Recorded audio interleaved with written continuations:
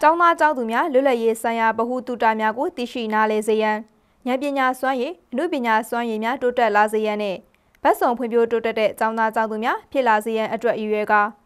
84နှစ်မြောက်လွတ်လပ်ရေးနေ့အကြုံအထိမ်းအမှတ်မြို့နယ်အဆင့်စားစီစာကုန်းကြပြပကြီးနဲ့ပိုစတာပြိုင်ပွဲများကိုဒီဇင်ဘာလ16ရက်နေ့နံနက်ပိုင်းကရန်ကုန်တိုင်းအတွင်းရှိမြို့နယ်များမှာစာစီစာကုန်းပြိုင်ပွဲနဲ့ပိုစတာနဲ့ပကြီးပြိုင်ပွဲများကျင်းပကြောင်းသိရှိရပါတယ်။အဲဒီလိုဆောင်ရွက်ကြရတွင် လှိုင်မြို့နယ်အခြေခံပညာကျောင်းများတွေ၎င်း